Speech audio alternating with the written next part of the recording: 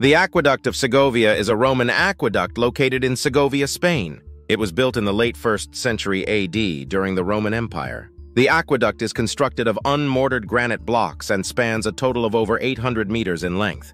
It was built to transport water from the river to the city of Segovia, supplying water to Roman settlements, and it continued to be used well into the 20th century. The aqueduct has two tiers of arches, with 25 arches on the upper level and 11 on the lower level. It is one of the best preserved ancient Roman aqueducts and an important symbol of Segovia.